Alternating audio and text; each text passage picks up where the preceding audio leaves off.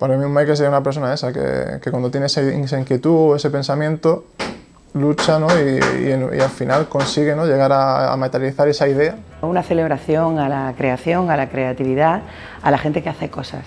El maker acaba generando soluciones propias, acaba generando prototipos en el que la tecnología constituye o bien la parte principal o bien eh, representa eh, un instrumento fundamental para innovar sobre los modelos con los que venía usualmente trabajando. Un maker se definiría como yo me lo guiso y yo me lo como.